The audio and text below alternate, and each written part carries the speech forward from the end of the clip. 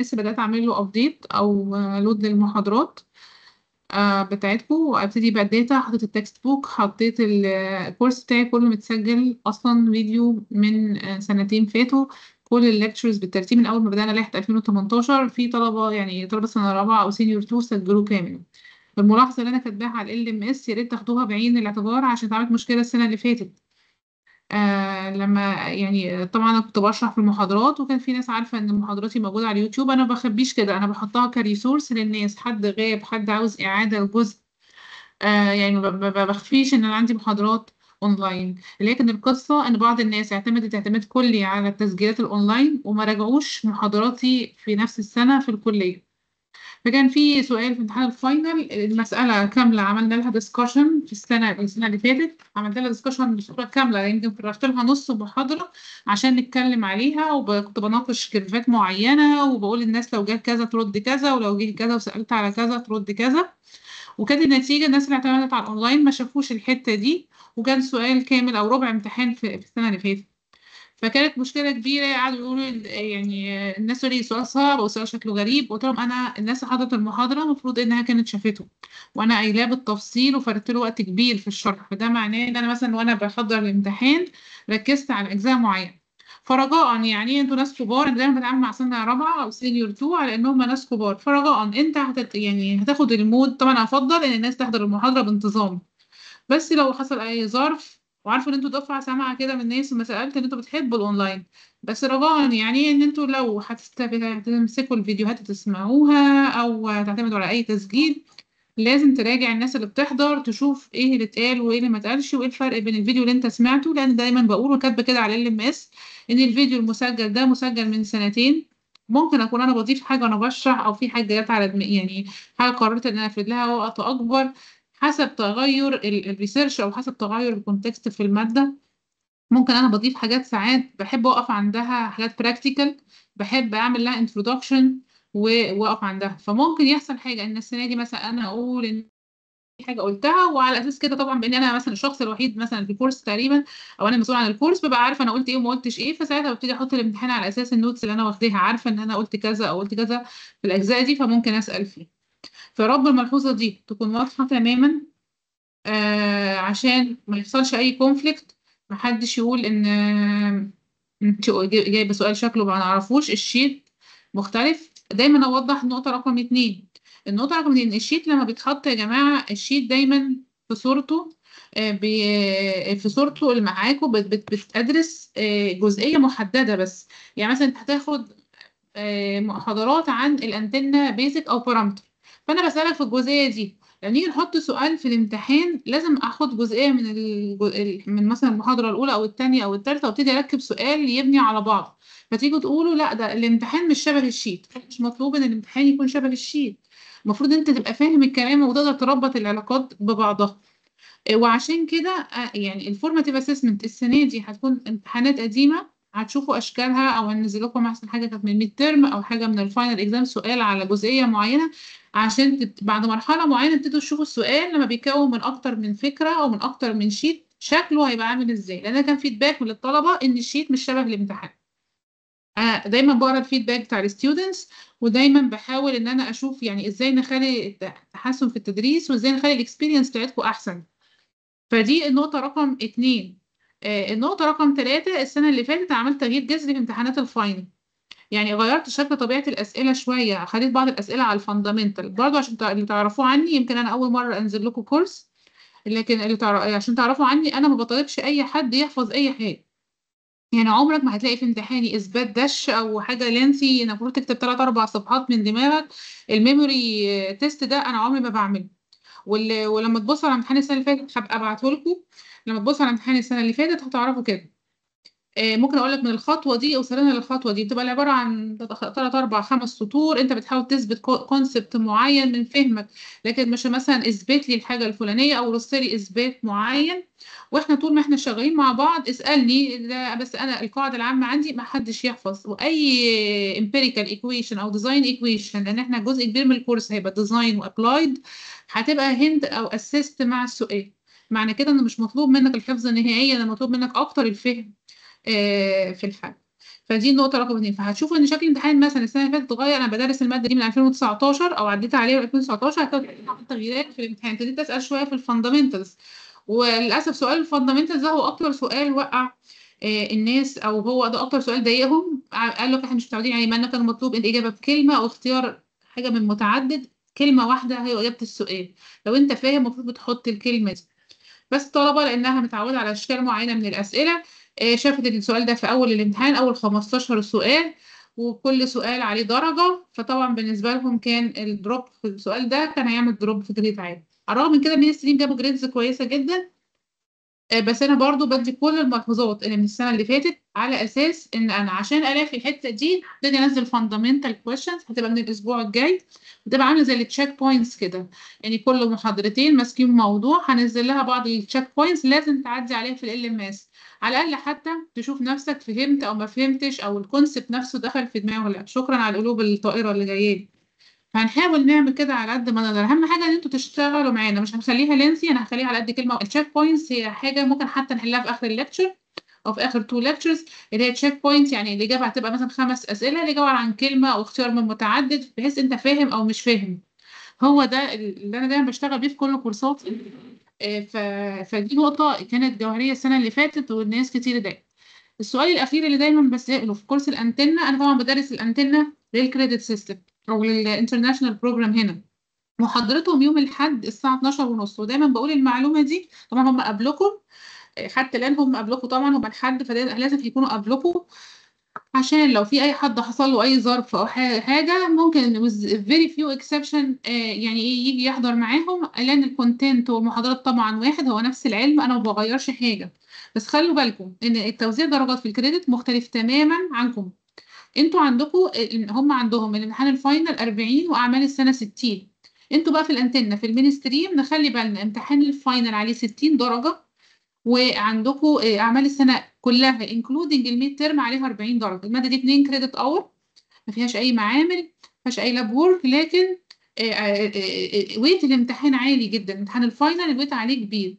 وعندكم كمان من ال 40 20 midterm ففاضل 20 ال 20 دول بنديهم 15 حاجة اسمها major task زي ما شفتوها في كل في كل الحاجات. وعادة أنا بنزل ال major task بعد ال midterm على طول في الأسبوع السابع أو الثامن وبتبقى team based وكل واحد بيشتغل. على طبيعة يمكن ال major task هشوف السنة دي هنزل إيه؟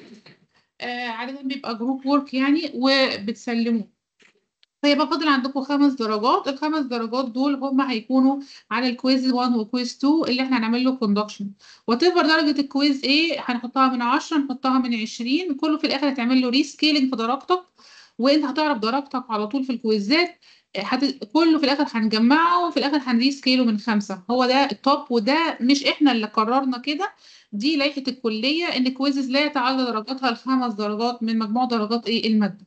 في مادتي وفي كل المواد. بس هنا عندكم لأن امتحان ال final بقى 60 درجة وال midterm 20 زي المتبع فبقى عندكم ال major task أو أعمال السنة كلها منحصرة في ال major task اللي أنا هبعتها اللي هي 15 درجة من total درجاتك في المادة.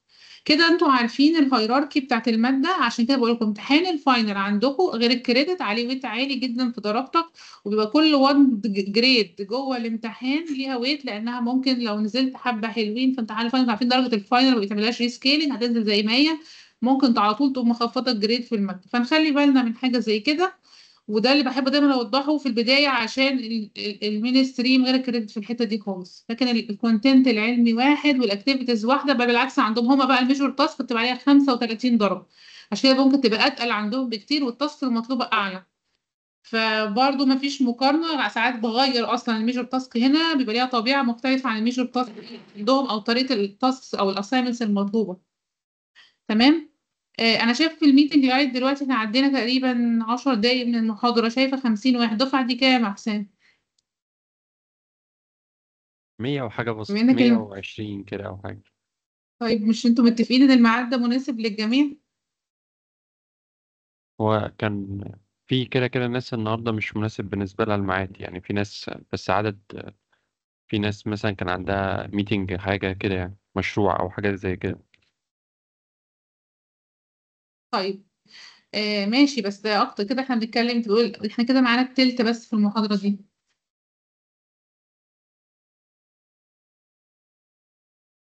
هو ال- العدد بيزيد في ال offline وكده بقى إن شاء الله. تمام. ماشي. أنا طبعا هشرح وال meeting recorded بس آه، يا جماعة لو الترند زاد أنا ح... أنا يعني إيه هغير طريقتي. مش هقول إن أنا هبقى شريرة لكن أنا هغير طريقتي إن أنا هخلي الناس تحضر عشان السنة اللي فاتت ما يكررش تاني. اللي هو الناس ما بتحضرش بتروح تقولي عندي meeting مشروع دي مادة إجبارية. عارفة إن ده مش ميعادها في الجدول النهارده لكن طبعا معاك يا حسام أنت اتفقنا إن الميعاد مناسب للجميع.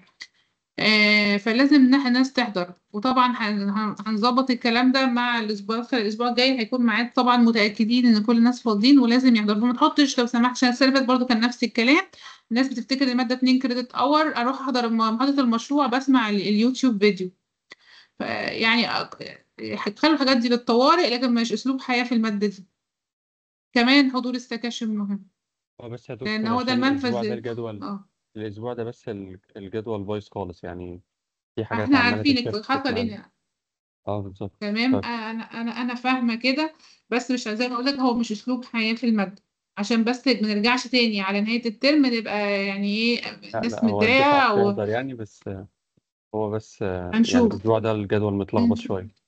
تمام. خلاص وكده كده أنا عاملة recording لمحاضرة النهارده على أساس الناس تسمع برضو الكلام اللي أنا قلته live أنا طبعا بعت إن أنا المحاضرة تتسجل فأنا دلوقتي هبدأ أ share ال screen آه، ممكن أعرف آه، أنتوا خدتوا يعني إيه المحاضرة اللي فاتت؟ أو غطيتوا إيه آه، هل سمعتوا كلكم الفيديو اللي أنا بعته؟ بتاع ال detachment الناس اللي في ال meeting هل أنتوا سمعتوا يعني ممكن تعملوا thumb up أو حاجة؟ هل أنتوا كلكم شفتوا الفيديو اللي اتبعت بتاع ال detachment theory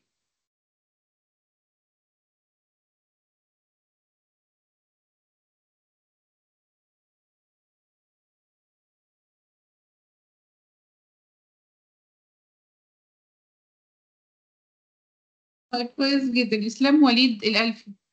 رافع إيديه ورقم خمسة. إيه إيه إيه بقى اللي اتعلمته من الفيديو ده وإيه اللي شفته؟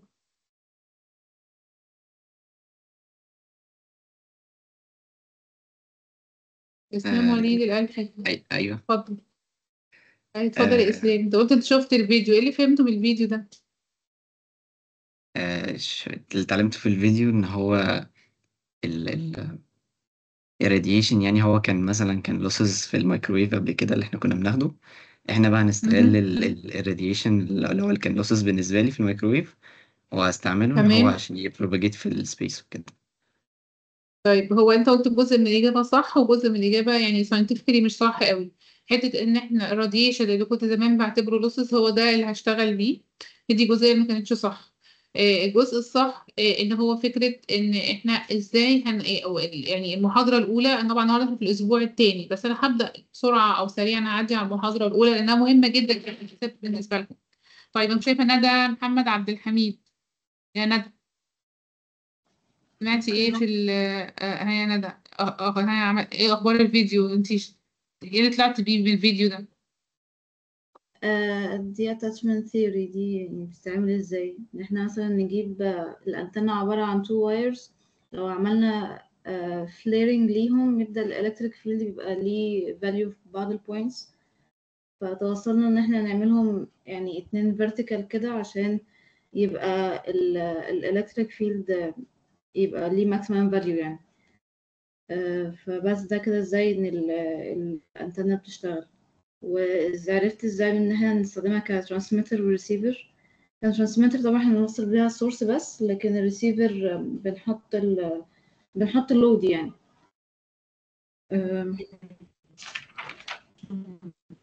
تمام شكرا جدا يا ندى. طيب بصوا يا شباب أنا هشير أول ما شكرا جدا يا ندى. آه، هبتدي هشير ال هشير لحظة واحدة نشير lecture 2 آه تمام. ابتدي بقى نحط ال PowerPoint بتاعي أنا طبعا حملت الكلام ده على ال LMS عندكم. طيب بصوا بقى يا جماعة. آه، كده الناس بدأت شايفة ال screen عندي ولا؟ ال screen ظهر عند الناس؟ آه أي تمام. حد تمام. يتابع معايا؟ تمام. تمام. تمام. خلاص. طبعا دي المحاضرة أنا عادة كنت ببدأ بيها ال ال ال ال course دايما اللي هو لازم نفهم الطلبة. أنتوا يا جماعة جايين لنا من كذا course درستوه. إحنا عشان نعلمك electromagnetic wave طبعا يعني أول حاجة آه، انت اتعلمت what is antenna أصلا؟ هي ليه الانتنا بنستعملها؟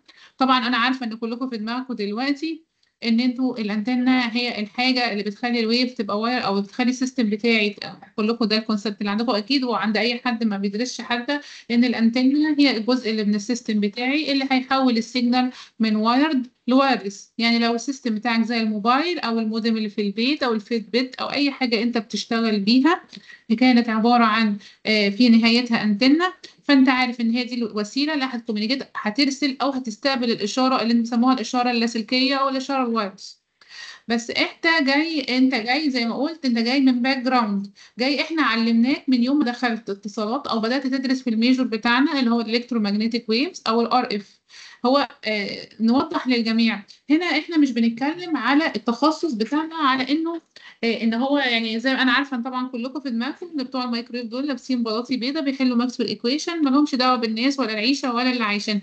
مع إن الفكرة دي غلط تماما. كل ال application اللي انت بتتعامل بيها النهارده آه، زي ما ال electronics it contribute to it زي ما ال RF وال microwave contribute to it على same equal distance مشكلتكم هنا في ال study plan أو في ال ECE إن أنتوا بتشوفوا ال applications بتاعه التخصصات اللي, مع ال electronics بتشوفوها متأخر جدا. يعني ال electronics it complement ال work بتاع ال RF وفي دواير في ال RF بت accommodate اللي بيحصل.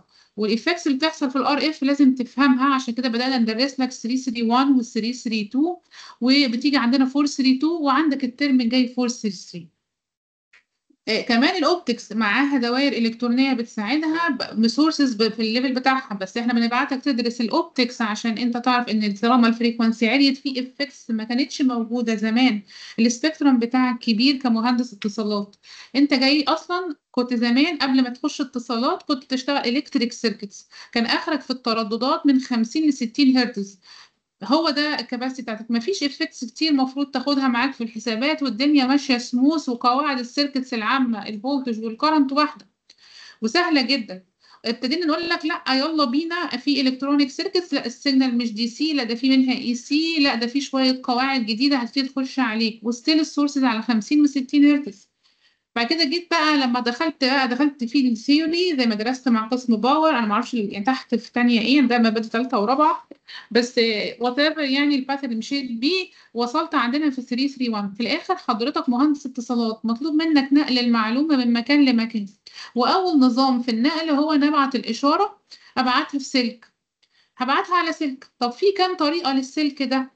قبل ما بداتوا قلنا لكم طيب تعالوا نعلمكم. طب إحنا ليه أصلا we migrated لل RF ابتدينا نطلع في ال spectrum ونزيح كده شوية بشوية. كان في بقى ال signal بتاعت اليو اتش اف والفي اتش اف اللي كانت زمان في التلفزيونات القديمة اللي هي ultra high frequency و very high frequency دي قبل المايكرويف كانت موجودة كانت التلفزيونات ام اريال دي ممكن أنتوا ما تبقوش عليها أنتوا جيل حديث يعني.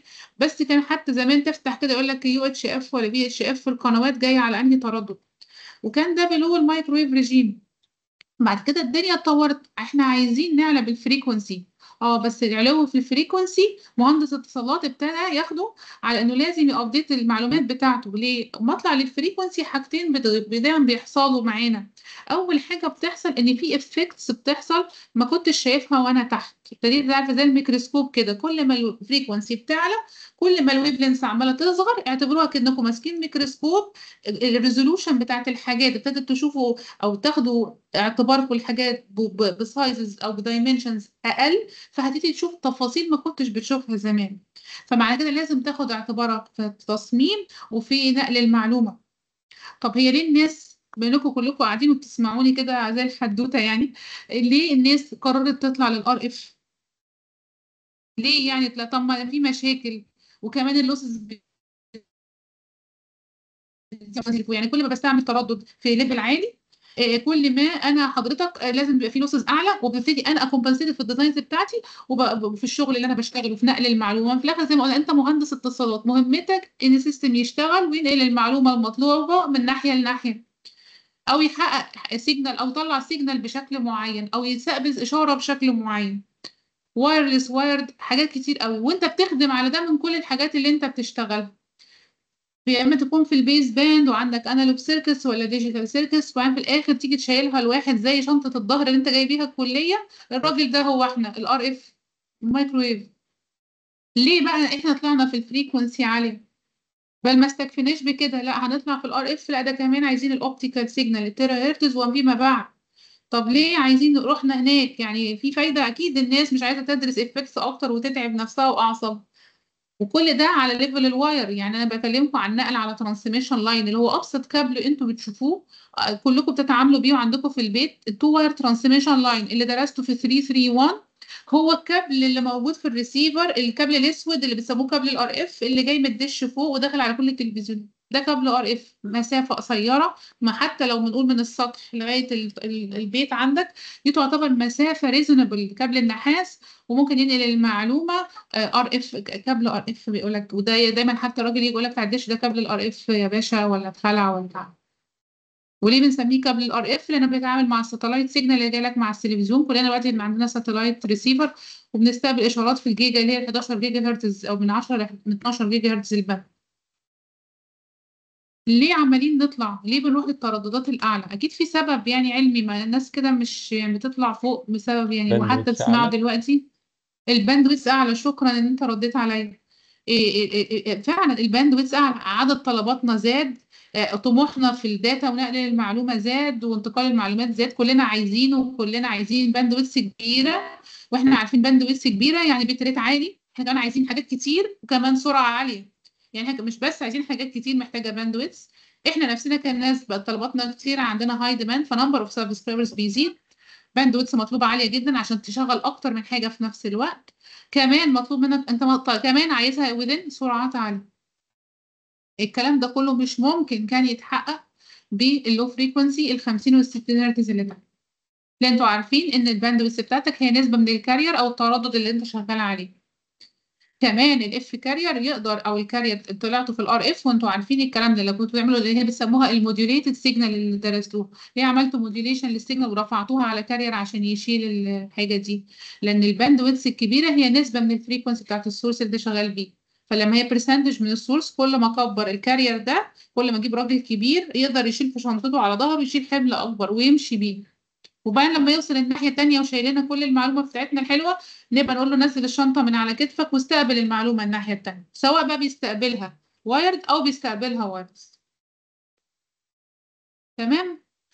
فعشان نعلمكم إزاي تتعاملوا مع ال high frequency جيتوا course 331 قلنا لكم الموجة ب- على فكرة المقدمة دي مهمة جدا لازم تربطوا الكلام ببعضه والمعلومات ببعضها. جينا قلنا لكم أنت هتحلل ال RF أو ال electromagnetic wave signal كان اسمه course electromagnetic wave أو electromagnetic engineering كنتوا بتقولوا إيه؟ قلنا لك هنبدأ معاك الخطوة الأولى. هنقول إزاي تتعامل مع تحل Maxwell equation في unbounded signal يعني إيه unbounded signal يعني هحل Maxwell equation في الموجة كأنها تخيلوها كده كأنها في ملعب الكورة بتاع الكلية أو في مكان ما فيهوش لا حوائط والموجة طليقه ما فيش أي boundary بتقابلها ولا حاجة بتحدها. لو طلعت من ال source بال- بال frequency دي هي ماشية في ال- ماشية في طريقها كده محدش بيعترضها. وكان المطلوب منك إنك تحسب دايما طالما بنقول بنشتغل electromagnetic wave يبقى دايما المطلوب من حضراتكم إنك عشان تشتغل ك engineer وتأسس ال system بتاع بتاعك كان دايما بتحل Maxwell equation أو كنتوا بتحلوا ال wave equation زي ما حلتوها مع دكتور حسين وحليتوا ال electric field وال magnetic field ولازم تحلوهم الاثنين لأن الاثنين دول هم مفتاح إنك تحسب كل حاجة لل wave دي. once إن إحنا بن reach ال step دي تتفتح لك كل حاجة في ال system بتاعك ال E وال H جه دكتور حسين قال لكم آه طيب النهارده إحنا هنعلمكم أول خطوة في ال transmission ال two wire transmission line وكنتوا بترسموا schematic و circuit وتعلمتوا Smith chart هتقول لي ناس كتير هتقول لي إيه اللي جاب القلعه جنب البحر؟ إحنا كنا بنبقى عايشين قوي في electromagnetic wave وكنا بنبقى في الجزء الأولاني من ال course ده أنا درست ال course ده كتير قوي بنبقى بنعرف نفهم إزاي لو ال wave ماشية في الهواء لو الويف ماشية جوه dielectric material هيحصل لها إيه لو ماشية جوه conductor هت behave إزاي؟ عشان أفهم طبيعة الموجة اللي في ال high frequency هتتعامل مع ال mediums المختلفة في الحياة إزاي؟ لو أنا طلعتها من ال source كده وقابلت ال medium ده هي هتشتغل إزاي؟ ولازم أنا أكون فاهم ال mindset دي عشان أعرف أنا بشتغل إزاي. بعد كده قلنا لكم لا ده الموجة دي ممكن تقابل boundaries وكان ده الجزء بتاع ال reflection وال transmission لما قلنا لك لا ده الموجة دي وهي ماشية ممكن تغير ال medium من الهواء تنقل على dielectric medium لا دي جاية من الهواء وهتقابل conductor medium آه طب هتحصل إيه؟ تعمل عاملة زي كرة التنس كده هتحصل إيه؟ تقوم قابلة ال boundary بين ال two mediums تبقى عاملة زي إيه؟ زي الكورة. تخبط لكأنها شايفة حيطة. هيحصل إيه في الحيطة؟ هتقوم الكورة رد عليك الناحية التانية. أو لو إحنا اعتبرناها حاجة مطاطية ممكن تتفكك ببعضها جزء من الموجة ينتقل لل medium التاني اللي هو اتغير خواصه وجزء يرجع علينا تاني. وكان لازم تدرس إيه تحسب قد إيه من الموجة يرجع وقد إيه من الموجة ينتقل للناحية التانية. ليه؟ كل ده بيصب في دماغك كمهندس اتصالات. لو أنا بعت إشارة وحصل عليا reflection هل بنميز ال reflection ولا أنا مهمتي إنقلها الناحية التانية أصلا لمكان آخر على بعيد عن ال transmitter مثلا؟ طب ما لو رجع عليا جزء يبقى أنا فقدت جزء من الإشارة بتاعتي. طب والمتبقي قد إيه؟ ده ال transmission بتاعي. طب وصلت للريسيفر في المستوى المطلوب وده كانت الهدف عندكم. دايما تحسبوا ال E وال H كان حتى عندكم جزء كبير من شغلكم في المسائل بتاعت ال polarization إنك تحسب الالكتريك فيلد والمagnetic فيلد الانسيدنت والريفلكتد والترانسميتد حصل ولا ما حصلش؟ وكنا نغلس عليكم شوية نقول لكم مرة السقوط عمودي على ال boundary ومرة بقى لو هو ليه زاوية وال parallel polarization وال perpendicular زي كل أنواع السقوط الموجة الموجة ماشية وبتقابل ال medium التاني بزاوية ولا جاية عمودي عليه. حصل ولا ما حصلش؟ أكيد حصل. حصل يا دكتور. حاضر. طب أنا أنا استفدت إيه كمهندس من كل الشغلانة دي غير الرخامة؟ ما أنتوا دايما شوفوا أنا الكلام فيديو بتسجل استفدت إيه؟ أنا عمالة أحل أحل أحل أحل. كده فهمت حاجة؟ لا. هل أنتوا عارفين أنتوا الهدف كنتوا بتحلوا الكلام ده ليه؟ أو حد عنده انسايت كده جواه هو ليه حل الكلام ده؟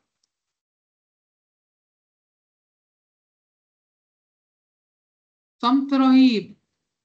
وده بيرجع لكرهكم للمادة أصلا؟ ما تحطوش في الحتة العملي. ها. نقول. طيب حد عنده إجابة محتملة للسؤال ده؟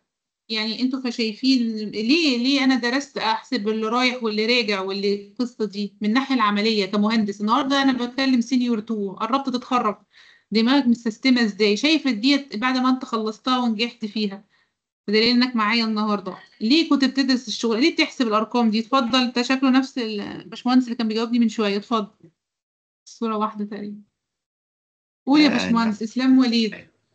إن هو مثلا يعني أغطي كل أو يعني أغطي ال worst case scenario إن هو بحيث لو هو حصل لها يعني reflection كلها أنا ممكن أعمل إيه أو الحسابات أو حاجة زي كده. أو مثلا لو في acceptance angle مثلا المفروض أعملها عشان ال ال ال signal تعدي أو كده. يعني حلو قوي أنت قلت يعني- حاجتين آه. يعني قلت أحاول حاجتين optimize كويسين قوي آه. آه بحاول optimize ال situation اللي بيحصل. ليه؟ أنا لو جيت مثلا عامل optical fiber ومثلا مكونه من مادتين لو أنا دارس وفاهم طبيعة اللي هيحصل على ال boundary بين المادتين دول أعرف قد إيه يفضل جوه مثلا ال fiber بتاعي زي ما درسته في ال waveguide جوه ال core وقد إيه يخرج بره ال clad فأنا المعلومة الأساسية confined جوه ال core لو أنا مش فاهم الفرق بين ال two dielectric material وإن في boundary condition وال wave behave مختلف أو ممكن جزء منها يرد عليا يبقى أنا مش هعرف احسب ليه كنت بحسب ال electric field وال magnetic field؟ عشان أقدر في أي لحظة أقف عند أي مسافة في أي medium وأحسب ال total power اللي شايلها ال wave مهمه آه يا دكتور؟ آه مهمة مهمة عشان ال transmitted power دي أعرف أنا وصلت للس... أنا بعمل دايرة إلكترونية أو بعمل system كبير. حضرتك لازم تتأكد إن كل ال power زي ما أنتوا زمان وأنتوا صغيرين كده كنت تاخد حاجة اسمها ال maximum أو ال Thevenin equivalent كان إيه ال condition اللي بتحققوه ب ال Thevenin equivalent في الدوائر البسيطة الحلوة اللي أنتوا بتحبوها. تقول لك أنا بطلع إيه condition اللي عنده يتحقق ال maximum power transfer يعني إيه maximum power transfer يعني بالنسبة لي أنا إن كل ال power اللي خرجت من ال source راحت لل load نفس الكلام في ال RF أنا عايز ال- ال- ال power اللي هتوصل transmitted لل system اللي بعدي أو ال load اللي أنا حاطاه هي الحاجة اللي هتشغله أو الحاجة اللي هتخليه operate أو يستقبل الإشارة بتاعتي وأعمل لها decoding زي إشارة التلفزيون فأتفرج أنا على المحطة سليمة. لو ال power نزلت عن ال level المطلوب أو في ال noise floor level بتاع الريسيفر يبقى حضرتك مش هتستقبل المعلومة اللي أنت منتظرها بصورة صح. وده كتير جدا بيحصل. في أيام مثلا زي المطر والزعابيب والحاجات دي يبتدي الطبق أو ال LNB يتحرك من مكانه فكمية المعلومات اللي جاية من ال satellite تبقى أقل من ال level ال power بتقل وتلاقي حتى ساعات بعض الناس لو الطبق بتاعها مهزوز تلاقي إن الإشارة عمالة تدكسل على التلفزيون. ما حصلتش لأي حد فيكم وقاعد في التجمع وفي العين والهوا ديت ما حصلش هو قاعد كده يتفرج ويجي الراجل بتاع الدش يقول لك يا باشا LNB متحرك من مكانه يبقى الحبة اللي كان هياخدهم focused عليه أو الإشارة تجيله جاية أقل من موجود. على ما نزلت الريسيفر دخلت على ال noise floor. يجي الريسيفر يشوفها يقول لها تحت ال noise floor level. يبقى مش هيقدر ي decode ال signal دي فما يطلعلكش إشارة على التلفزيون.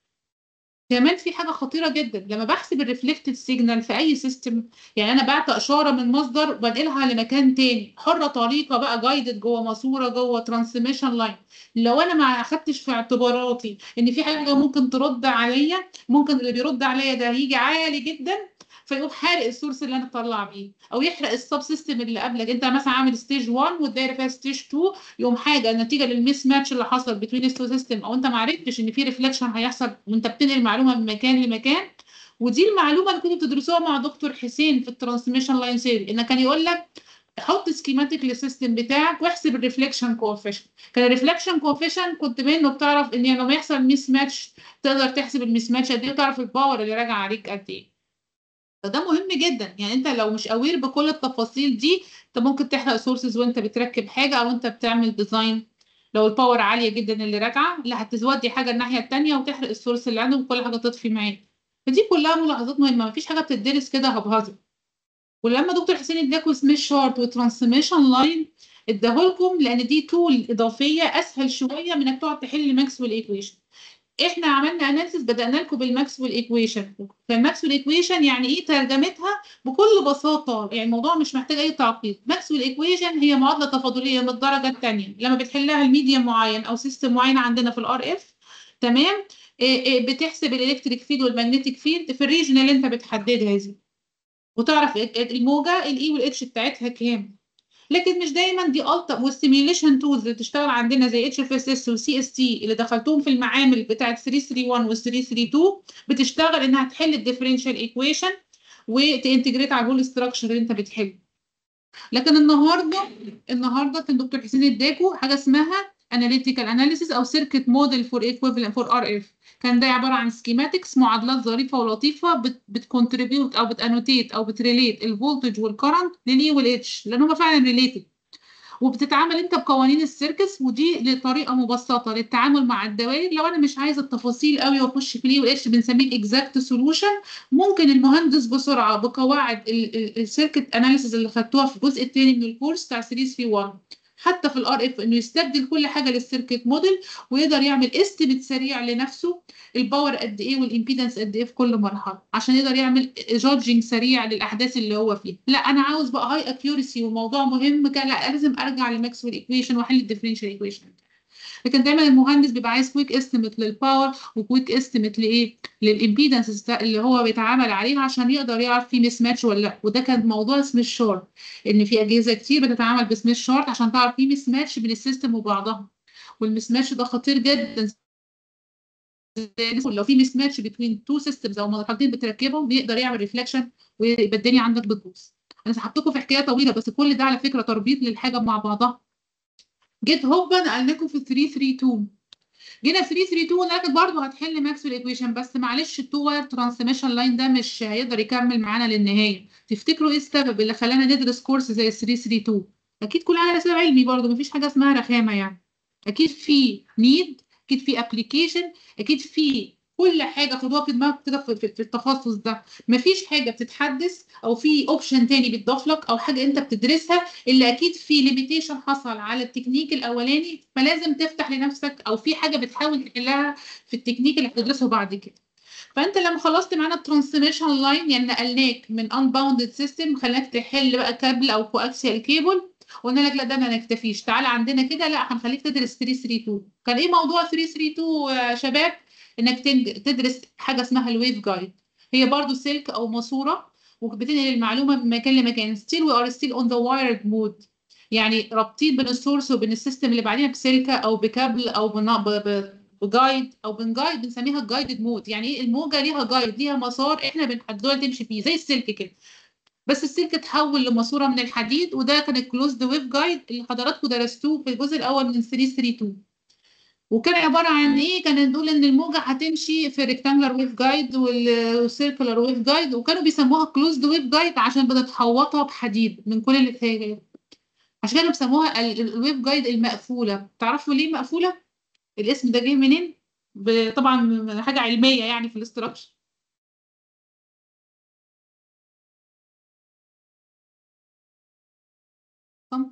إنه bound آه. من ال four direction bounded من ال four direction وإيه تاني؟ في حاجة أقوى من كده؟ هو صح هي ماسورة مقفولة فعلا بس ما ما ال waveguide bounded ما ال optical fiber bounded من كل ال direction بيسموه ال open waveguide ليه؟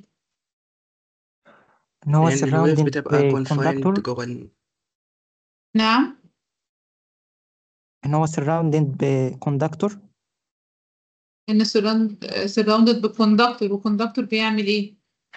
بي- بيموت ال ال ال signal تماما.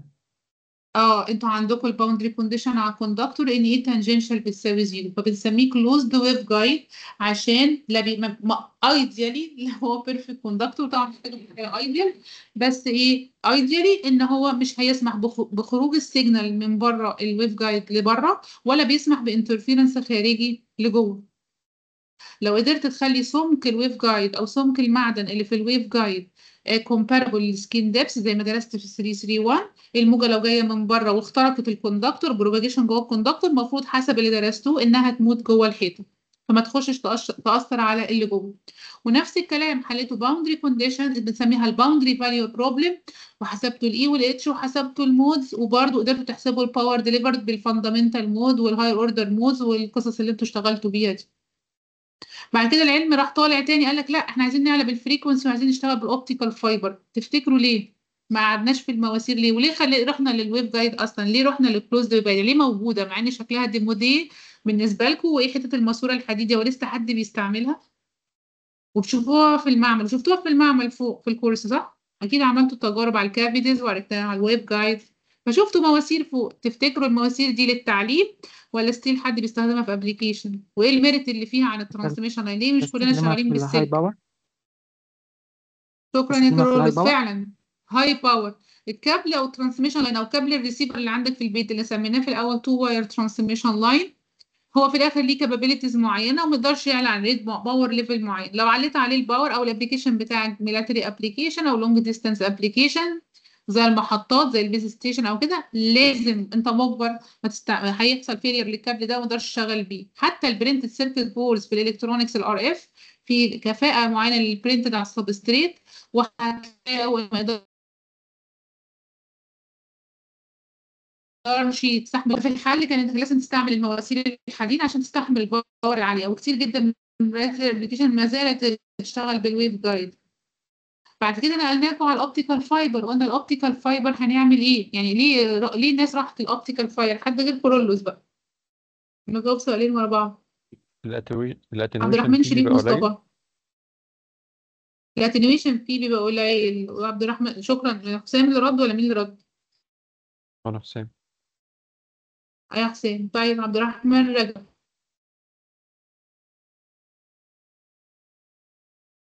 عشان بنستخدم فيه هاي ريتس يعني وفي اللوسز قليلة. آه لما شلنا شكرا يا عبد الرحمن. لما ش... لما شلنا ال... لما شلنا الحديد من ال optical fiber واشتغلنا كله dielectric ال loss بتاعتنا قلت كتير. ترجع على إيه مهندس الاتصالات ترجع عليه بقت ال losses منخفضة يقدر يسحب لمسافات أطول للمعلوم. لأن هو كانت مشكلته الأساسية إن ال losses عالية.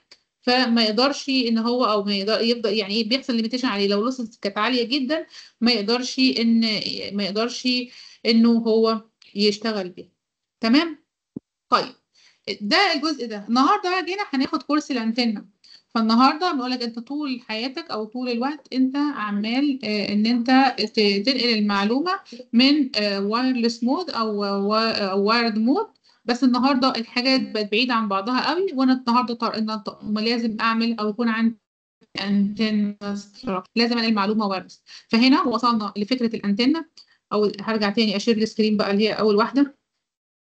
آه، أ share ال antenna تمام.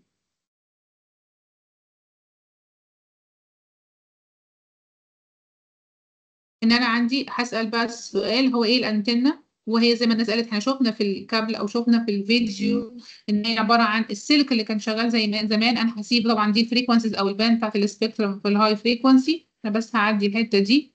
آه هذه دي الرسمة اللي أنا كنت عايزة أتكلم عليها. إن أنا عندي ال source زي زمان. شايفين القلم بتاعي هو بيتحرك. عندنا ال source زي زمان. عندنا نفس ال transmission line اللي حضرتك كانت بت propagate عليه ال electric field magnetic field اللي درسته مع دكتور حسين. وبعدين ابتدت إن إحنا عندنا السلك ده مفتوح لآخره أو ال flaring اللي حصل ده وبنقول إن الجزء ده هو الأنتنة أو ال transducer اللي هينقل ال wave من guided wave جوه السلك اللي هي ليها مسار وطريق تمشي فيه تتحول ل wireless أو radiated wave.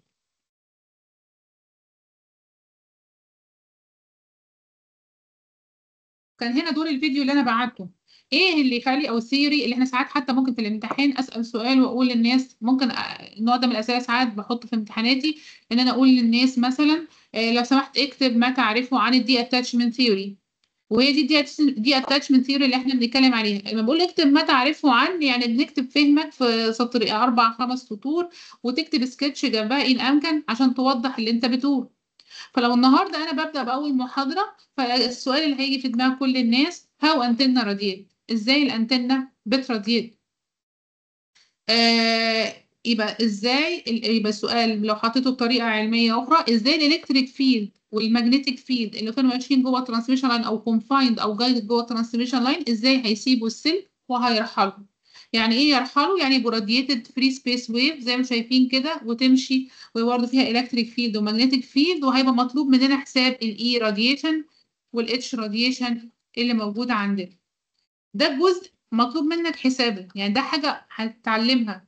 هنعمل إيه؟ هنحل Maxwell equation في ال radiation mode وعليها certain boundary condition زي ما حضرتك طبقت. Boundary condition في ال في ال wave guide و closed أو open dielectric wave guide هنا هتحل مسألة ال radiation عشان ال electric field وال magnetic field لل radiated wave أو ال wireless ال electromagnetic wave اللي مشيت في الهواء ده ده جزء من الإجابة أو جزء من ال requirement المفروض تفهمه أو تطلع بيه. ال requirement الرقم واحد آه إيه هي اللي المفروض أسأله لنفسي وأنا بتعلم في ال course ده أو في بداية المحاضرة دي؟ هو إيه اللي هيخلي ال guided wave تتحول ل radiated wave يعني إيه يكون في condition معين لو أنا عملته وحققته هيحصل إن عليه أو هيحصل إن هو بسببه إن ال wave هتتحول من guided ل unguided أو radiated الإجابة آه. لأن لو أنا سايب سلك عادي لو أنا عندي source و transmission line أو كابل الريسيفر بتاع البيت يعني أنا عندي source ال signal اللي جاية من الطبق فوق السطح. وبعدين كابل ال RF وبعدين سبت نهاية ال RF بدل ما أوصله بالتلفزيون أنا شديته بالتلفزيون. هل لو جبت ريسيفر الناحية التانية تتوقعوا إن السلك ده ه radiate signal؟ يعني في signal wireless هتخرج منه الإشارة اللي جاية من الطبق هتطلع من نهايه سلك الكابل ال RF وهتطلع لك إشارة ماشية في البيت. لازم السلكة تبقى في حدود ال wave بتاع ال frequency اللي أنا بعتها. آه يبقى الإجابة اللي كرولوس أنا خ- سمعت الصوت. الإجابة اللي كرولوس بيقترحها أو بيقولها أو بيبدأ بيها الكلام إن لأ ممكن ما يحصلش لأن لازم في شروط معينة أنا أحطها عشان يتحقق ال detachment وإن ال E وال H اللي كانوا موجودين جوه الكابل اللي جايين لي من الطبق فوق أو من ال source بتاعي يخرجوا للهواء ويبقوا radiation wireless signal وأبقى متوقع إن يستقبلها الناحية الثانية في مكان ما.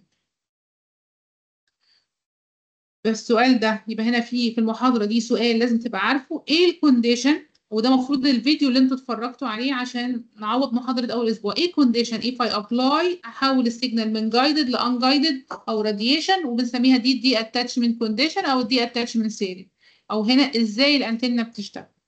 أو ليه بتشتغل بالطريقة دي؟ والجزء رقم اتنين اللي هو كان المفروض ده المحاضرة التانية اللي هنشتغله في الساعة الجاية هنبدأ الإثبات بتاع Maxwell equation في ال radiation فإنكم شفتوا الفيديو حد غير مثلا يعني حد يقول لي إيه اللي شافه ليه بيحصل إيه هو ال condition وإزاي بيتم عملية ال detachment إيه ال condition الرئيسي اللي لازم أحطه على يعني على ال- ال wire أو على الطرفين بتوع الانتنه عشان أقول إن هيحصل أنا هضيف slide بس عشان أشرح عليها كأنها زي السبورة.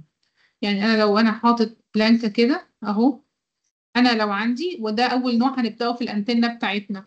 يعني أنا لو أول أنتنة أو دايما الأنتنة اللي هنشتغل بيها هنشتغل بأبسط حاجة.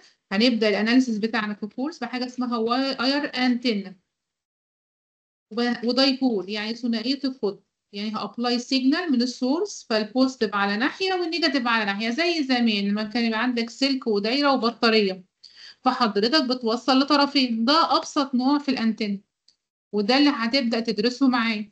طيب الطرفين دول السلكتين ال dipole أو من الحديد هل في condition عليهم عشان يحصل ال detachment يعني تعالوا نفكر بطريقة يعني reverse engineering هل في condition على ال source ده؟ هل ال source ده ينفع يكون DC ولا لازم يكون AC ده سؤال للمهندس.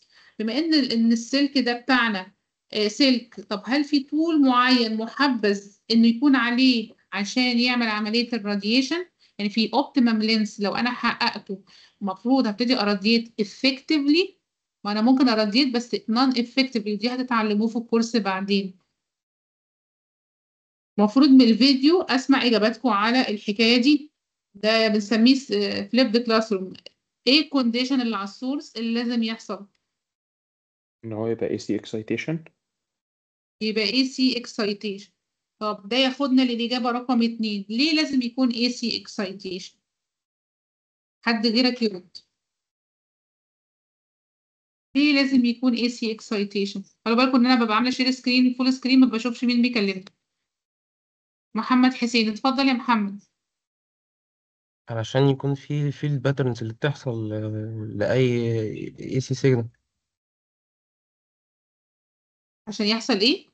لازم يك... عشان يكون في field patterns على ال wire لكن لأن لو DC مش مش هلاحظه مش هيبقى فيه field مش هيبقى فيه alternating field يعني.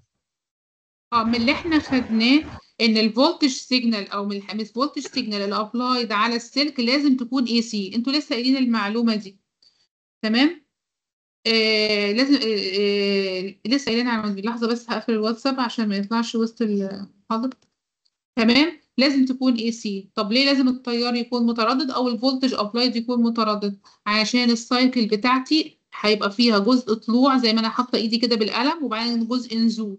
طب والطلوع والنزول ده يعمل إيه؟ إن الجزء اللي عند ال signal ما ال voltage هتنخفض للصفر لكن يحصل إيه؟ دي النقطة اللي بيحصل عندها إيه؟ detachment لل field اللي كان موجود على السلك. المفروض ده شفتوه في الفيديو. ليه بيحصل كده؟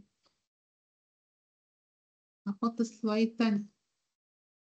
هو في الأمر الواقع إيه اللي بيحصل يا جماعة في ال في, في ال signal إن أنا زي ما شفتوا في الفيديو بطريقة مبسطة وده مكتوب في ال slides اللي بعد كده وده ال introduction بتاع موضوع ال radiation ده إن أنا لما بحط voltage signal وبعتبر نفسي في الربع الأول من ال cycle اللي هو عن مثلا خلينا نقول لغاية هنا ال voltage عمال يزيد ف effectively أنت عندك طرف موجب وطرف سالب زي أي بطارية. فالطرف الموجب آه، طبعا هيحصل إيه؟ إن في عندك حركة لل electrons زي ما أنتم عارفين ففي حركة الالكترون بتمشي من مكان لمكان ففي طرف هيتحمل ب positive charge للأماكن اللي سابتها الإلكترونات في ال rod واللي هو بنسميه ال holes وطرف هي accumulate عليه ال negative charge و once يبقى عندك على ال dipole السلكتين اللي انت بتعتبرهم انتنا دول طرف فيه positive وطرف فيه negative زي ما شفتوا في الفيديو أنتوا عارفين على طول إن ال electric field lines هتقوم متخلقة أو هي توصل بين ال positive وال negative charge بالشكل ده. ده العلم اللي أنتوا درستوه. لو فضل ال cycle على الشكل ده على الربع الأول تفضل بنفس ال behavior ده هنعتبرها بتزيد بتزيد للأبد كده هيفضل electric field lines ماسكة في السلك بين ال positive وال negative charge ده الحقيقة اللي بتحصل ده الحقيقة هتحصل لو physically لو أنا فضلت عمالة أزيد أزيد لما لا نهايه لأن عمالة accumulate voltage وعمال يزيد ال positive charge بتزيد ال negative charge تزيد relative لل voltage drop اللي اتحط على السلك وال electric field lines عمالة توصل من ال positive لل negative ده اللي إحنا درسناه زمان في ال field theory لكن اللي بيحصل بقى في الانتنه أو إن أنا ب apply alternating signal بالشكل اللي إنتوا عارفينه أو الشكل اللي إحنا متعلمينه إن هيحصل إيه؟ إن ال signal sorry إن أنا رسمت ال X ده إن أنت عندك الإشارة هتبدأ كده وبعدين ترجع ليها انخفاض تاني في الربع التاني من الدوره بتاعة ال signal. فهيقوم يحصل إيه؟ effectively وأنا ب reverse ال voltage على ال dipole يعني ال voltage عمال يقل يقل يقل يقل يعني إيه ال voltage عمال يقل يقل؟ effectively أكن الاشارات عمالة تنعكس تنعكس تنعكس تنعكس. في الحالة دي يبقى عندي ال positive charge وال negative charge أماكنهم هتتغير على ال line أنا كل ما بضيف هنا negative فال positive عمال يقل وال negative هو اللي بي dominate عشان أقلل ال positive بتاعي. كان effectively ال voltage بتاعي عمال يضرب في الحالة دي أنت عندك electric field lines هيتغير اتجاهها من ال positive لل negative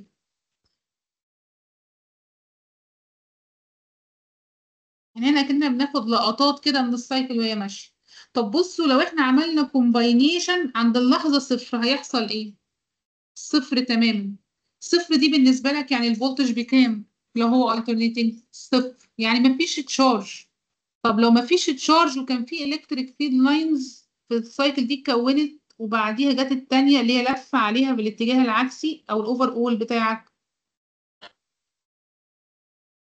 هيحصل إيه؟ هيحصل electric field مش هتلاقي charge أصلا تتخلق حواليها والخيوط الفيض ده أو ال electric field lines هتلف على نفسها هت localize على نفسها. آدي اللي كان جاي من الأولاني وده اللي جاي راجع من التاني في الاتجاه ده فعلا. ويحصل إيه؟ وتحصل عملية ال detachment ويبقى عندك packet من ال electric field أو ده ال vector ده و vector electric field وده vector electric field اللي خرج من الانتنه طبعا ده سكتش الثلاث خطوط دول مش لازم يكونوا ثلاث حاجات فعلا. ويبقى ده ال electric field. وفي نفس ذات الوقت في magnetic field بنفس الشكل عمودي على ال packet دي. يعني إحنا بنرسمها عبارة عن cycles بالشكل ده وفي حاجات عمودية عليها بالشكل ده.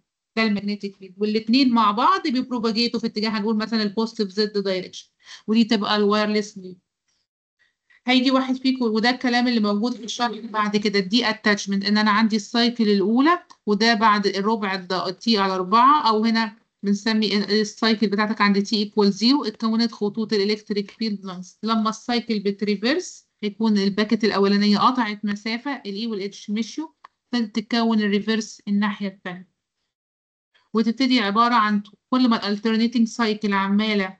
تتغير كل ما في extra يعني packets عمالة ال reverse direction من ال positive لل negative ويبتدي يحصل radiation أو as time progress ال electric field هي detach من ال dipole ويبقى في loop في ال space يبقى في الحالة دي عشان أحصل أو إن أنا أقدر احصل على detachment electric field وال magnetic field لازم يكون عندي oscillating current أو voltage عشان ال charge بتاعتي يتغير وعند اللحظات اللي هي صفر هيتم عملية ال detachment بتاعتي. أرجع للسؤال رقم اتنين. هل في length optimum زي ما شفتوا في الفيديو عنده ال radiation هيكون effectively يعني إيه كلمة effectively للمهندس؟ يعني كل ال input power أو ال current اللي دخله على طرفين السلك أو بتوع ال dipole هل اتحول له ال radiated wave ودي تدرسوها أحد parameter ال antenna حاجة اسمها ال radiation efficiency قد إيه من ال radiated power relative لل input power اللي تم apply على ال dipole ده parameter هتحسبوه قدام كفاءة الراديتور. من النواحي العملية الراديتور بتاعك يا جماعة عشان يبقى كفاءة يعني كفء أو نسميه efficient radiator لازم يعدي نسبة في المية. يعني نص ال power على ال applied as an input طلع a radiated signal وشايل المعلومة للناحية الثانية هتقولي طب لو الأنتنة أقل من كده بنعتبرها ما تنفعش في ال communication تجوز أو في ال communication application وممكن نستعملها في حاجات تانية. في ال near field مثلا أو في ال sensing أو في أي شيء تاني. لكن ك communication signal و propagate على مسافات لا ده هنا كفاءة. أنا أصلا بدخل power بخسر نصها أصلا قبل ما أطلع في الهواء ولسه الهواء يحط عليا losses فأنا هوصل للريسيفر على كام؟ ففي الحالة دي إيه حسب ال application نرجع للسؤال رقم ثلاثة هل في طول محدد عشان ال radiation يبقى كفء أو كفاءة بقى؟ هنقول بطريقتكم أنتوا. آه في اطوال محددة للأنتنة. لو لو هنعرفها بعد كده لما نعمل analysis لل wire antenna هنلاقي إن في optimum length لل antenna. عندها efficiently ال power radiation أو electric field هيكون أعلى ما يمكن. As a merit أو as a starting point هنا بيقول لك إن efficiently وزي ما شفتوا في الفيديو أنا بس آه بالظبط كده. لو طول الراديتور هو الجزء أيوة، بتاع. ال length ده تقريبا مش في أول فيديو. لا موجود في الفيديو والله بس يعني ممكن نعيده ممكن مش تاني أو أول فيديو. هفتح الفيديو. مش في مش في أول فيديو يعني إيه في أول فيديو ده أول فيديو ده اللي هو الفيديو بتاع المحاضرة ولا الفيديو اللي جاي من اليوتيوب؟ من اليوتيوب. آه اللي تمام. حضرتك طيب بعتيه. أنا هي... أنا ه... أنا ه... هنعيده دلوقتي مع بعض نشوف إذا كان تقدروا تسمعوه أو تشوفوه وإحنا مع بعض دلوقتي على الأونلاين. طيب الحتة بتاعت lambda by 2 زي ما قلنا إن لو الطول بتاع ال dipole أو ال antenna ال overall length بتاعها lambda by 2 إيه lambda by 2 ديت؟ its matching ال wavelength بتاعت ال alternating signal اللي موجود هنا. أو بعد كده هنعرف أو مضاعفاتها يعني 3 lambda by 2 أو 5 lambda by 2 uh, now you are radiating more efficiently. طب إيه علاقة الطول بال efficiency بتاع ال radiation ده هيبقى بقى محور دراسة لما هندرس ال wire antenna بالتفصيل. طيب هيجي حد يسألني إحنا يعني إحنا كده فهمنا أو عرفنا إن في conceptual ممكن نخلي ال electric field اللي كان ماشي في السلك أنا آسفة جدا على الواتساب لو كان باين لكم آه إن آه إن الأنتنة آه لو effective أو يعني هندرس إيه في الكورس ده أو إزاي هنمشي في الكورس ده عرفنا as a merit إن إن في أو إن في آه، أنواع من الأنتنة أو بيحصل detach من electric field ويبتدي يبقى radiated mode ويمشي في الجو. الكورس بتاعنا هيمشي كالآتي. أول حاجة أنت فهمت أو النهارده أول كده step عندك في ال radiation عرفت إن conceptual كده إن في condition معين لو عملت ال AC وحددت طول الأنتنة بطريقة معينة عرفت إن أنا أقدر أسمح لل electric field اللي كان ماشي جوه ال transmission line أو كابل ال RF اللي أنا بتاع زمان ممكن يتحول ل radiated mode وتبقى انتنه زي اللي راكبة في المودم أو اللي على العربية أو في الراديو ترانزستور أو جوه الموبايل كل ده انتنه يا بتستقبل يا ترسل radiated signal أو wireless signal جاية.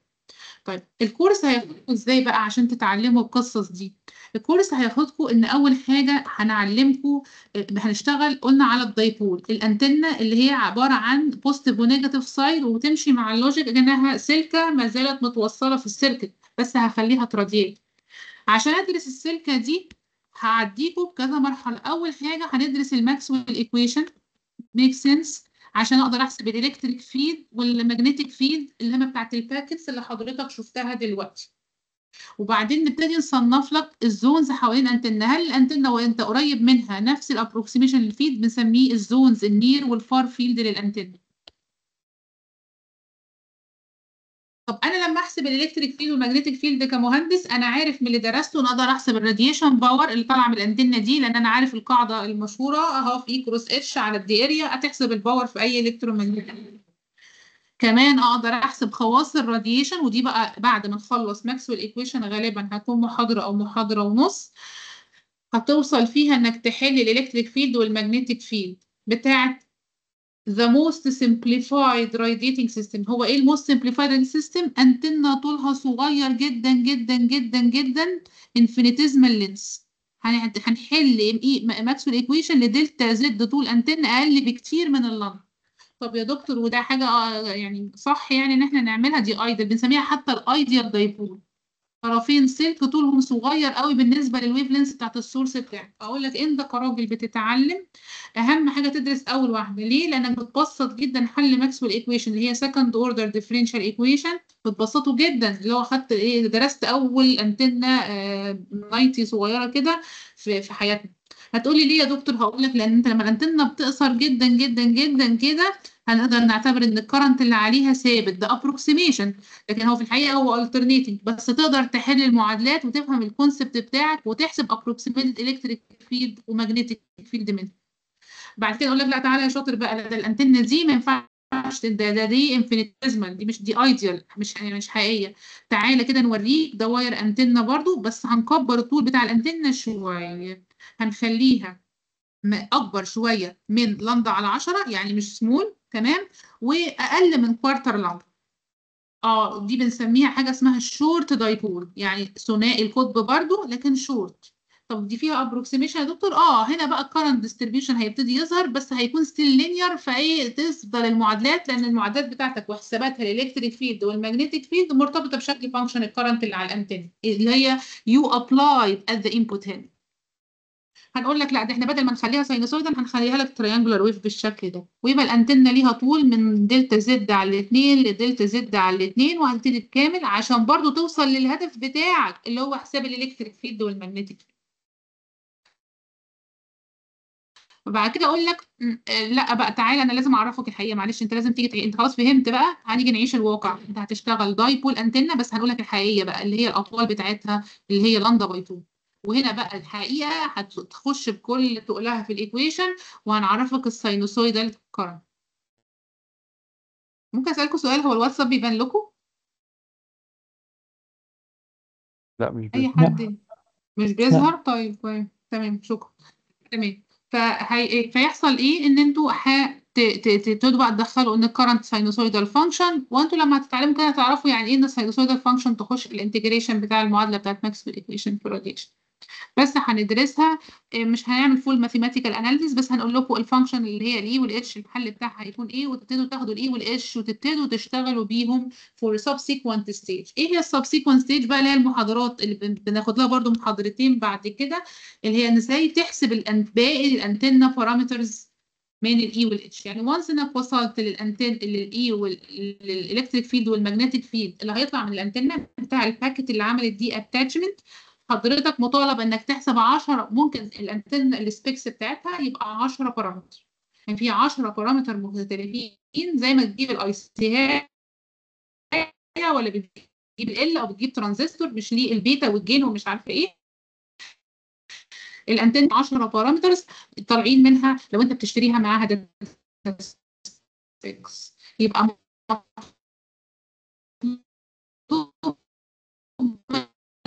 حضرتك إزاي تكتبهم يعني حضرتك تتعلم إزاي تكتبهم أنا تفهمهم طبعا وتفهم ال output ده جاي منين. وده كله جاي بعد ما بتحسب ال electric field وال magnetic باجي في المرحلة اللي بعد كده في الكورس. بقول لك آه طب لو طول الانتنه مش لامدا 2 إحنا still wire antenna بنيجي نقول لك طب لو الانتنه دي الأطوال بتاعتها اتغيرت بقت lambda by آه، lambda lambda 1 and half lambda 3 لامدا على 2 إيه ال effects اللي هتحصل على الانتنه دي؟ هل هي still بنفس الخواص ولا الخواص هتتغير؟ ال specs بتاعتها يعني آه، ولا هيحصل إيه؟ ده جزء مهم جدا في اختياراتك. وإيه ال optimum design أو إيه ال optimum length هل كل مرة lambda by 2 دي أحسن حاجة؟ هتاخده بعد كده إن ال gain بتاع الانتنه مرتبط بطولها. كل ما ازود ال length كل ما ال directivity وال gain يعلى وممكن الكفاءة تعلى كمان.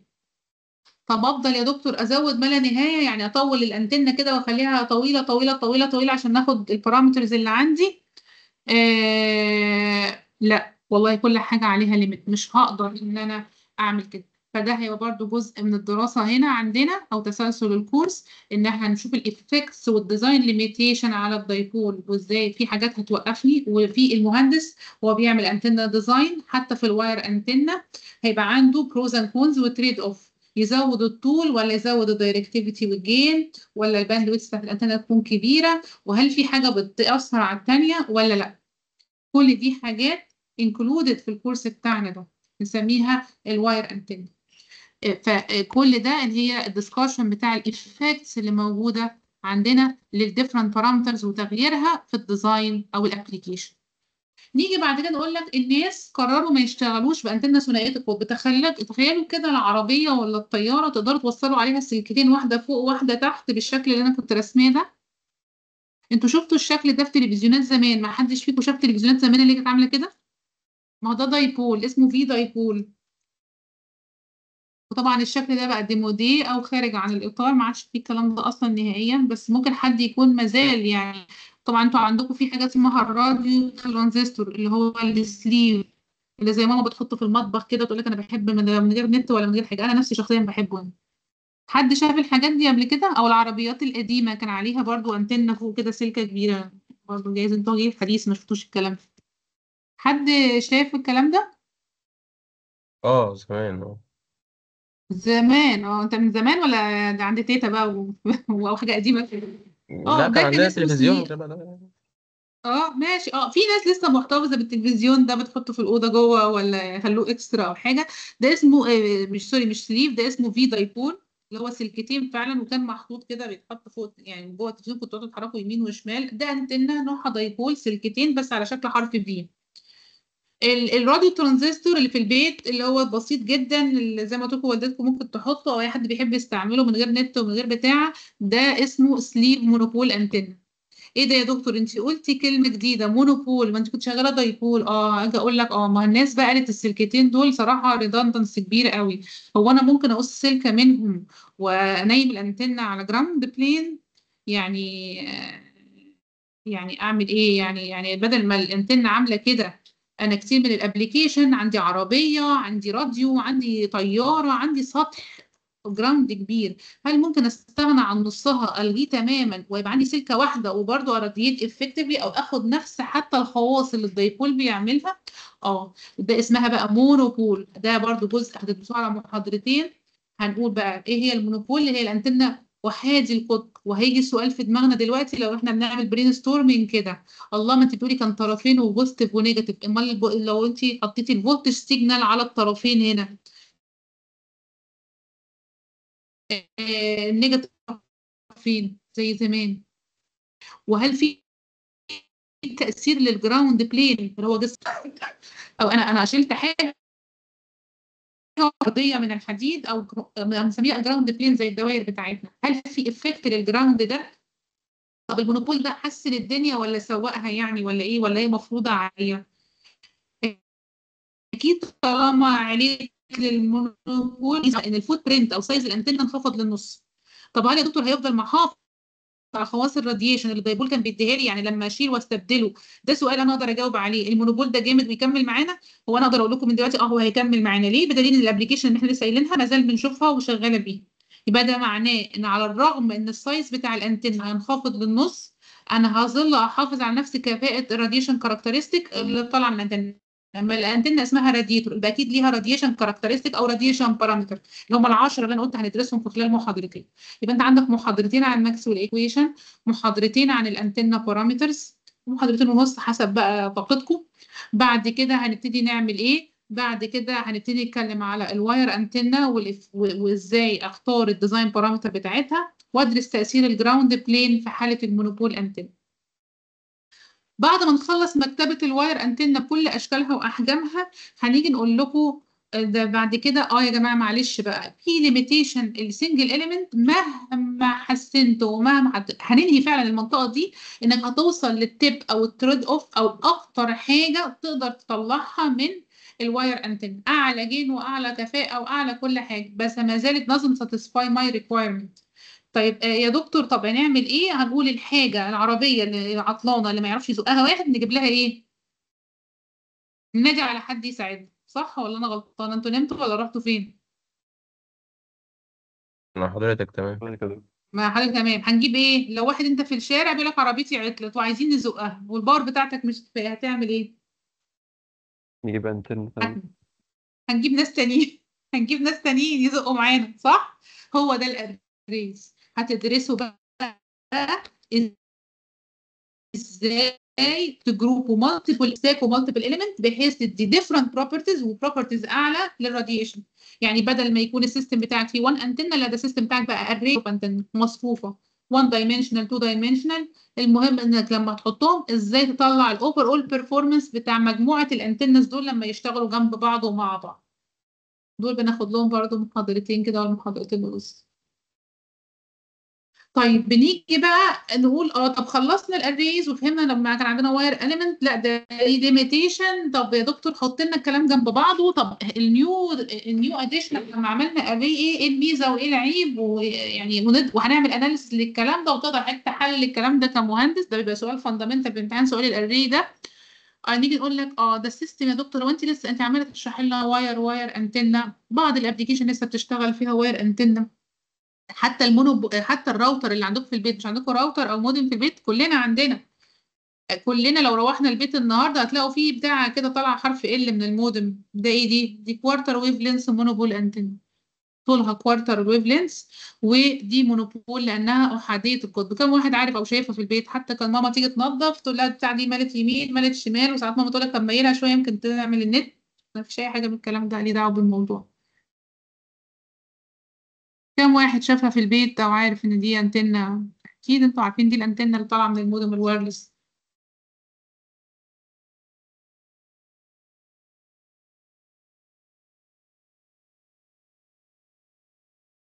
مفيش حد عارف كده؟ هي بنعملها زي معاملة الراديو كده أكيد بتأثر على النت زي ما الراد- زي ما بتأثر على الراديو في الإرسال وكده ف بس كمثال إن دي wire an آه دي wire antenna على الجسم بتاع ال modem ال modem ده بيعتبر هو ال ground plane بتاعتها ودي application موجود وحي معانا لغاية دلوقتي يعني ال wire antenna لسه شغالة معانا عادي ما ما اندثرتش يعني.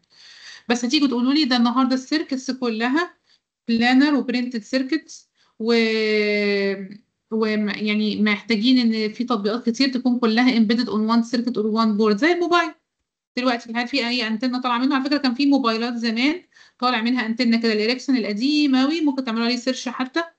آه، كان في بيطلع كده حتة كده protrusion كده فوق ال body بتاع الموبايل. لما كنا نفتحه كنت تلاقوا فيه سوسته عامله زي سوسته القلم ال screw. السوسته دي كانت helical antenna very broad band antenna وكانوا الناس بتحب تشتغل بيها الموبايل ولو وصل لما نوصل لها في ال course هنقول لكم ليه؟ الخواص بتاعتها كانت الناس بتحب تستخدمها في الموبايل وبعدين تم استبدالها.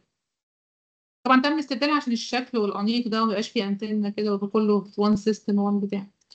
فهندرسه برضه هتاخدوا محاضرتين في اشهر أنواع الأنتنة اللي هم ال microstrip أو ال planar antenna ال antenna اللي هي بتنزل على ال board ة الخضراء اللي أنت عارفها ال board ة الإلكترونية دي وتبقى جزء من ال system بتاعك وتكون planar وتشتغل. ولازم تاخدوا ال theory بتاعتها لأن حضراتكم كلكم طبعا في العصر اللي إحنا فيه لازم تعرفوا ال theory بتاعت ال microstrip structures أو ال planar structure و how to radiate وأنت على substrate أو على board ة لو ربنا أحيانا وكان عندنا وقت كمان ممكن نديكم محاضرة عن ال broadband antennas وأشكالها لأنها تطبيقات كتير.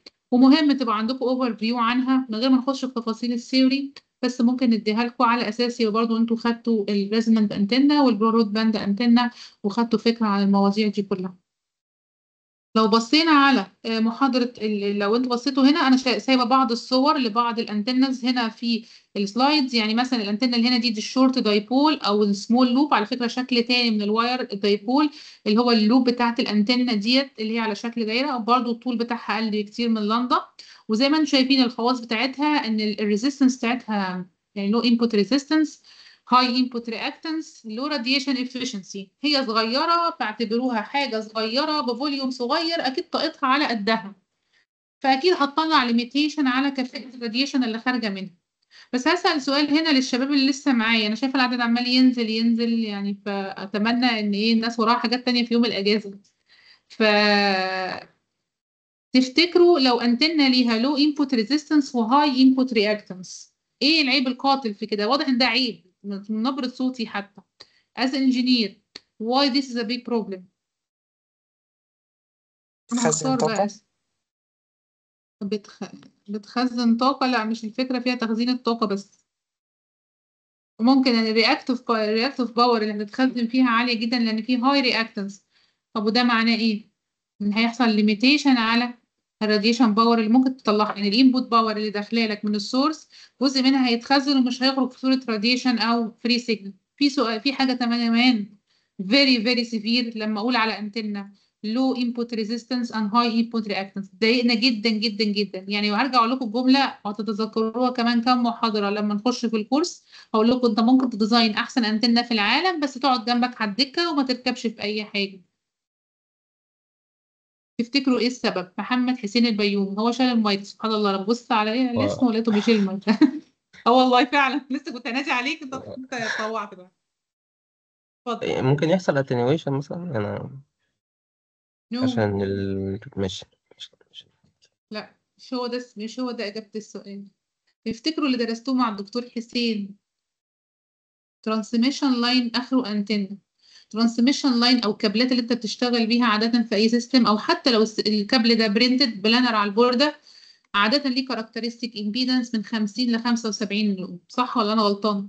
معظم الكابلات ال transmission line أنتوا خدتوها كده. لما أجي أحط عليها antenna ال low input resistance low input resistance لو بفرضها كرقم ال low input resistance عبارة عن هنقول خمسة زائد j خمسين. قد إيه من ال reflection هيرجع عليا؟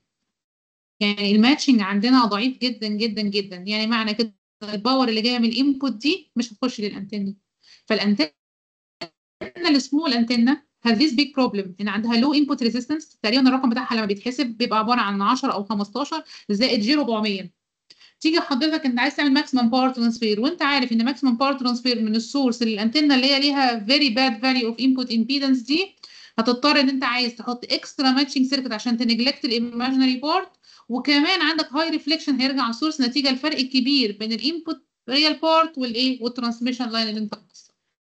فلما الانتنه بتبقى low input resistance و high input resistance بتبقى مزعجة جدا جدا جدا جدا وبتبقى صعب علينا ال matching يا بنضطر نضيف matching circuit من بره وده بي introduce لل system بتاعي عادة قوي نحب الانتنه اللي ال real part بتاعها في حدود ال 50 أو ال 75 أو 100 بالكتير قوي وإن ال reactive part لما حتى بن design حاجة مثلا في ال research نبص على ال imaginary part نلاقيه بيقرب للصفر أو أربعة أو خمسة يعني very nominal إنه هو يكون موجود.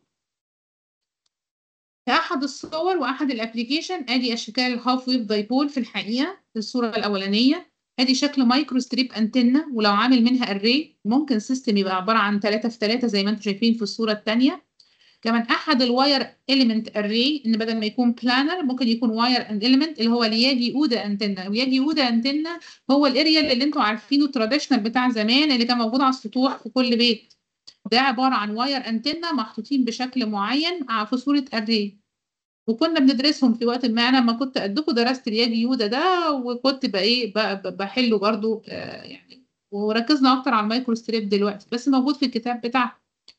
أحد الأشكال تانية من الاريال اللي هو أنتوا بتسموه اللي هو الاريال بتاع زمان اللي هو ال log periodic الفرق بين ال log periodic وال Yagi-Uda المسافات بين ال element المسافات دي لما تتعلموا في ال array هتلاقوا إنها تظبط ال bandwidth وتظبط ال gain يعني أكن بنقول مجموعة من الناس جاية تزق العربية. يبقى ال power بتاعتهم كلهم مجمعة عشان تزق العربية. في حالتنا إحنا في الانتنه مجموعة من ال wire dipoles هيجوا ويقعدوا جنب بعض ب spacing محدد electrically هيحصل إيه؟ هيحصل ان ال electric field بتاع كل واحد لوحده يبقى constructively added للتاني فيطلع إيه؟ super power أو super gain أو super properties لل antenna دي.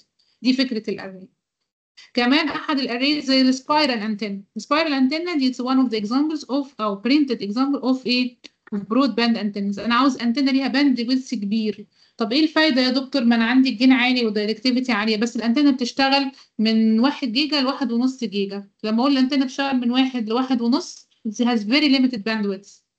نص جيجا يعني 500 mega hertz طب لو الأنتنة دي بقت ال size بتاعها كبير يعني ال bandwidth بتاعتها كبير بتشتغل من 3 ل 10 اللي هو ال ultra wide band أكيد الناس بتوع ال communication أو بيشتغلوا اتصالات عارفين ال FCC regulation اللي هو من 3 ل 10 giga hertz طب إيه بقى الأنتنة دي جميلة قوي دي بتشتغل ما شاء الله بحر 7 جيجا. إيه الميزة اللي فيها غير السرعة وغير الحاجات الكتير دي؟ إن أنا ممكن بنفس الأنتنة خلوا بالكم الأنتنة بتكون broad band يعني محافظة على الخواص بتاعتها في خلال هذه ال band دي كلها. يعني لو بشتغل عند 2 جيجا بنفس الخواص عند 7 جيجا بنفس الخواص عند إيه؟ 5 جيجا. طب ودي حاجة مفيدة؟ آه أقدر أخلي الأنتنة دي تشتغل عند كذا تردد بس في نفس الوقت. يبقى بدل ما أخلي في السيستم وأنتنة وأنتنة وأنتنة واحدة لاثنين واحدة لثلاثه واحدة لخمسة لا ده أنا ممكن أخلي واحدة بس ultra wide band تقوم إيه متكفر كل ال band دي وأقدر أرسل واستقبل على كل الحاجات دي بواحدة بس. دي ميزة ال broad band antenna وليها مميزات تانية وهنذكرها في وقتها. بس دي من الحاجات اللي هي make sense أو make logic وأنت بتدرس antenna theory طبعا عندكم بقى ال high gain antenna وال high power antenna اللي هي ال horn antenna وأعتقد شفتوها في المعمل فوق وكتير تظهر في ال military application عندنا فوق في ال characterization it's very fundamental antenna بنسميها ال aperture antenna أو طبعا الأشهر على يعني بالنسبة لكم ال reflector antenna وبرده ال aperture antenna اللي هي الدش اللي موجود فوق السطح. وطبعا أنتوا عارفين ال LNB وعارفين إن الطبق ده هو عبارة عن بيجمع الإشارة اللي جاية من ال satellite فوق. الطبق ده عامل زي المراية المقعرة كده بتجيله ال rays أو ال signal اللي جاي من ال satellite وبعدين تقوم إيه منعكسة وكلها تتجمع ال LNB.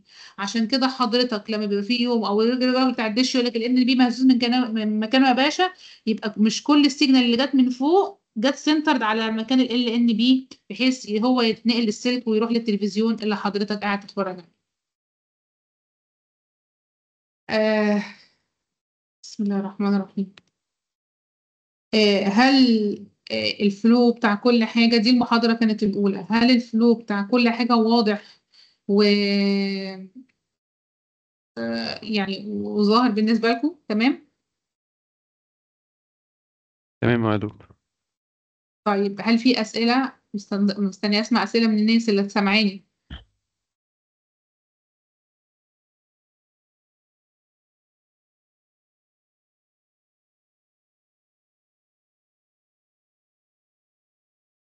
مفيش حد عنده سؤال كل حاجة واضحة وجميلة مفيش عندكم أي استفسار عن أي حاجة.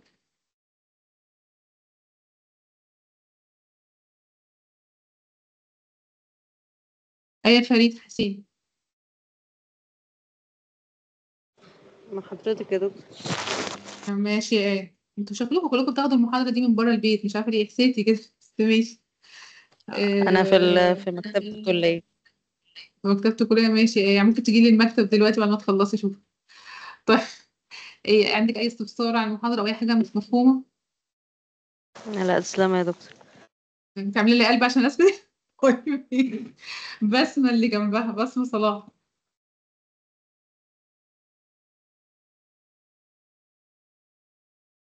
مفيش طلبات يا بسمة؟ هل تسمعني؟ لا تمام يا دكتور. طيب. تمام يا دكتور ماشي. علي عادل مهدي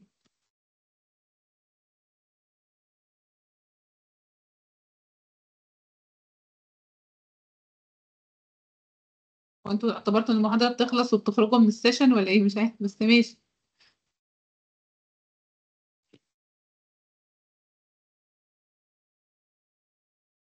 تمام. يعني أنا هقول نسكت علامة الرضا مبدئيا كده. آه، هيجي لكم طبعا ميعاد المحاضرة اللي إحنا هيبقى confirmed عليه وهنحضر عليه. طبعا أنا كنت عايزة أدخل في المحاضرة رقم اتنين اللي هو الإثباتات بس أنا شايفة العدد عمال يقل. ولو أنا بدأت الإثبات ده النهارده وأنتوا ما سمعتوش الجزء الأولاني منه مش هتعرفوا تكملوا الجزء الثاني منه. فأنا أفضل إن هو يبقى بداية المحاضرة الجاية. المحاضرة دي كلها متحملة عندكم على ال LMS. وهنزل الفيديو recording once إنه ينزل على ال LMS عشان اللي عايز يسمع البداية. طبعا أنا مش هعيدها تاني. ويعني لو حصل وداني قفلت خالص يبقى غالبا هنتقابل يوم الاثنين في المدرج زي ميعادكم الريتد إن شاء الله. لحين بقى ما إيه ما نظبط. يا إما لو في ميعاد تاني هنبلغ بيه المندوب وهو يبلغ. في حد عنده أي استفسار أو حتى ملاحظة عامة ليا على الشرح على أي حاجة أي فيدباك قبل ما أمشي؟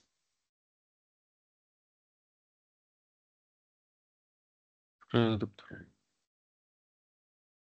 شكرا يا مريم. عايزين تكتبوا أي حاجة message وهي البنات عمالة تبعت لي قلوب دي حاجة جميلة تمام؟ طيب. آه، حسام هنا ولا مش هنا؟ ولا خرج هو كمان؟ مع حضرتك يا دكتور. مع حضرتك يا دكتور. طيب أنا ه- يعني المحاضرة الجاية تنبه على الناس الحدود لأن ممكن فجأة يلاقوا ال LMS بقول نفتح من حاجة أنا بقولها في المحاضرة و check point وهقفلها.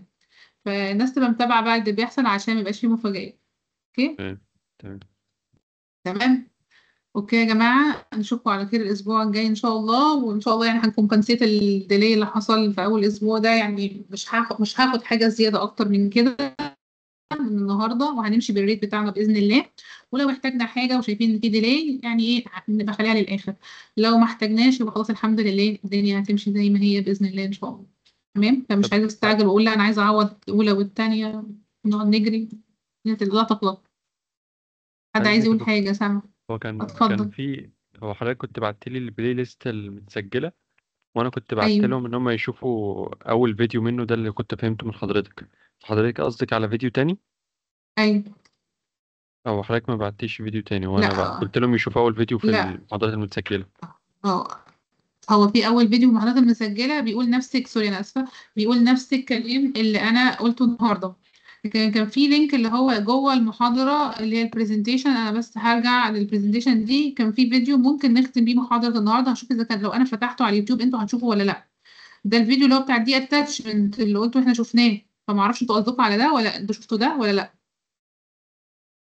لأ هو أنا كان قصدي إن أول فيديو في المحاضرات المتسجلة في ال playlist اللي حضرتك بعتيه. دي اللي حضرتك كنت تمام. بعتيه. آه. طيب. مفيش مشكلة أنا هحاول أشغله دلوقتي. آه.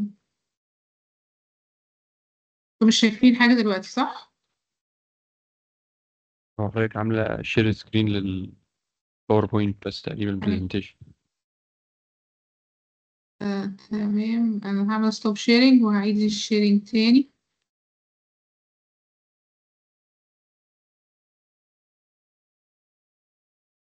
أنا هشيل بقى ال screen كلها. طبعا لو أي حاجة ظهرت على الشاشة يعني ع- كده المفروض تشوفوا اليوتيوب دلوقتي. شايفين اليوتيوب؟ وبقعد هبعت ال link دي على الدفعة أو هي موجودة جوه ال PowerPoint أصلا بتاع أول محاضرة. كده ال- اليوتيوب بي- يشتغل. ما أنا عندي هنا يوتيوب شغال ممكن أبعت ال link دي على ال meeting برضو على أساس آه، لو حد عايز يشغلها أو حد كاتب أهو ده.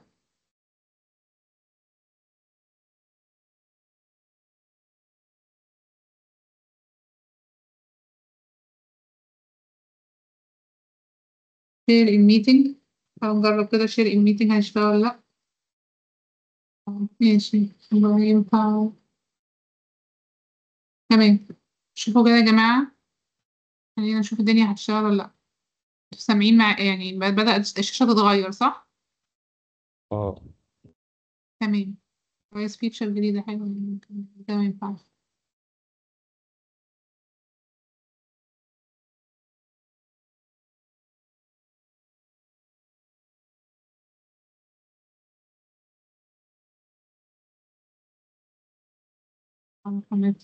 ده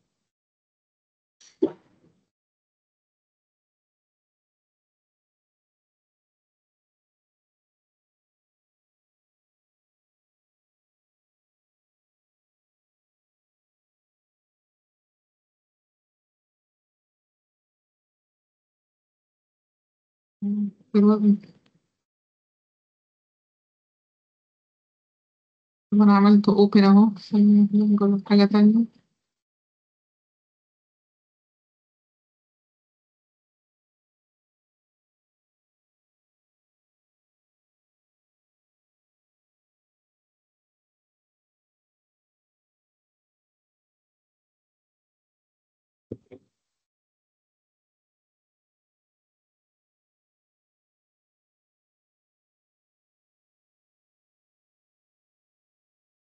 هو أصلا ما فتحش عندي على الكمبيوتر أصلا كيوتيوب يعني. أنا في المكتب هنا مثلا أهو في الكلية.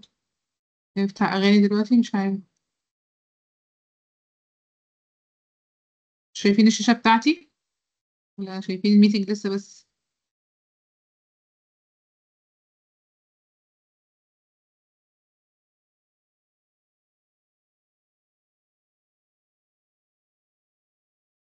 أهو ثانية.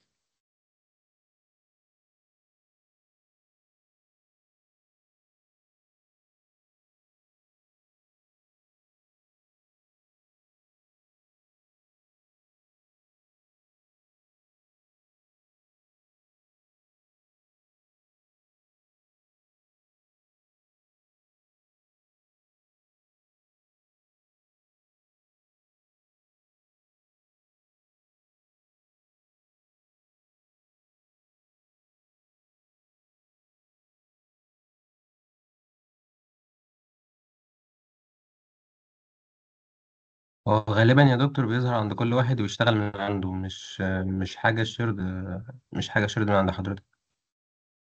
هو فتح المفروض عندي كده فعلا. شغال في ال meeting. شغال في ال meeting؟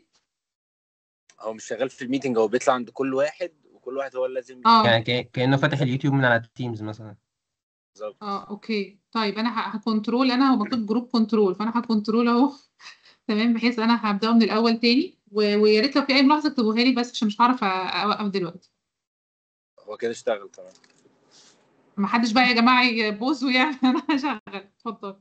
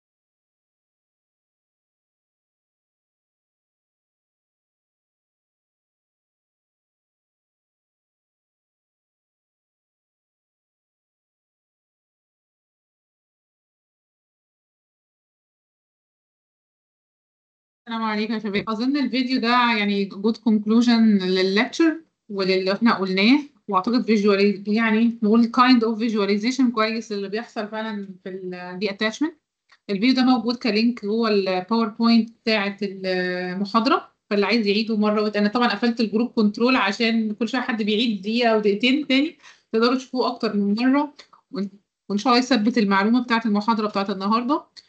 وبإذن الله الأسبوع الجاي نبدأ اللي هو اللي زي ما اتفقنا Maxwell equation والجزء اللي إحنا هنبدأ بيه بقى ال theoretical analysis شكرا. لو في حد عنده أي سؤال قبل ما أمشي اتفضلوا. شكرا يا دكتور. العافية يا عبد الرحمن. شكرا جزيلا. لو سمحت يا دكتور أنا كان عندي سؤال. اتفضل. آه، هو بس يعني في الجزئية اللي هو طول ال... طول الأنتنة لازم تبقى الأمضة على اتنين في الموبايل مثلا. طيب مهم. أنا ساعات مثلا الموبايل بي... بي... بيغير ال carrier frequency اللي هو اللي بيستقبله بيتغير فهو إزاي بيظبط نفسه في في حاجة زي كده؟ هل هو مثلا أنتنة حجمها آه بيتغير؟ لا بس لأ. هو طبعا الانتنة حجمها مش بيتغير بس نوع الانتنة اللي راكب في الموبايل اسمه planar inverted F antenna هي مش patch antenna زي اللي شفتها في الفيديو عند one frequency أو limited band هي عاملة زي حرف ال F لما تشوف حرف ال F هتلاقي ان ممكن تسمح بمسارين لل current ودول المسارين اللي هم تقريبا المكالمات بتتم عليهم اللي هم ال band بتاع 900 و 1.8 جيجا. خلي بالك الموبايل بتاعك فيه أكتر من انتنة مش انتنة واحدة بس. في انتنة للمكالمات في antenna لل Bluetooth في antenna لل Wi-Fi في ant... كل module بتتعامل بيه دي antenna separate على ال board غير دي. واللي انت شفتها دي بتاعت المكالمة. حكاية طول ال antenna وال adaptation بتاع multi frequency ده هندرسه بقى في إن شاء الله يعني later في ال course حتة ليه الطول كده بالتحديد هتفهمها theoretical وهتحسبها بنفسك وهتعرف إيه ال effect بتاعها لما نوصلها إن شاء الله. يعني لما تاخد معادلة electric field أقدر أوضح لك عليها إيه ال implication لو هي lambda by 2 أو هي lambda by 4 أو هي 3 lambda by 2 هتعرف على طول هتأثر على إيه. تمام؟ تمام شكرا يا دكتور. العفو. أي أسئلة تانية يا شباب؟ معلش يا دكتور وحضرتك كنت لما جيتي شرحتي ال dipole آه، قلت إن بيحصل radiation لما t كانت بربع لما t equal T على الأربعة. وبعد كده آه. لما جينا شفنا في الأنتنة في ال wires قلنا لما ال t بتساوي T على الاتنين بيحصل radiation فهو الفرق ما بينهم إيه مهم.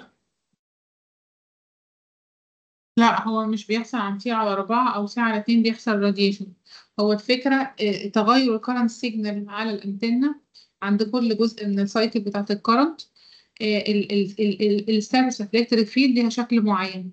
once إن ال cycle تقفل عند T على اتنين إحنا زي ما قلنا بيحصل neutralization charge ال positive قد ال negative فال field loop تقفل على نفسها و detach فهي إحنا لما كنا بنشرح بنقول مش بيحصل radiation في T على أربعة أو T على اتنين هو تتابع كده في ال alternating signal عشان توصل ل condition إن ال field ال electric field magnetic field هيسيبوا ال wire ويمشوا يبقوا radiate أنا كده وضحت اللي أنت عايزه ولا؟ الفكرة بس هو مش يعني في الفيديو هنا كان عامل على الأنتنة نفس فكرة ال dipoles إن هي بيحصل radiation ساعة لما ال positive يبقى منطبق على ال negative ما هو دي عند ال T بتساوي كام؟ T على اتنين. على يكون الاتنين. عندك T على اتنين لما ال cycle تكون بصفر يعني ال voltage يبقى بصفر افرض مفيش charge على ال wire. هو مش هيبقى بربع ساعة لما حضرتك قلت إن هو بيحصل acceleration فبيقربوا آه من بعض ده فعدت ما هو ده آه. الجزء الأولاني positive و negative أنت عملت نص ال loop النص التاني هيجيلك منين؟ يعني إمتى ال loop هتقفل على okay. نفسها وتبقى loop لوحدها. آه الربع آه التاني اللي هو بينزل. آه في تمام. اول effect لأول packet هتطلع لك وت propagate لما النص الأولاني من ال cycle بتاعت ال AC بتاعت ال current تبقى عندي على اتنين والنص التاني في ال reverse direction تمام. آه آه كده فهمت. كرنت تمام. هيعكس. تمام؟ آه تمام. شكرا. شكرا يا دكتور. العفو عليك. مفيش حاجة اتفضل. هل في حد تاني عنده أي سؤال؟ طيب يا جماعة. شايفة كل الناس.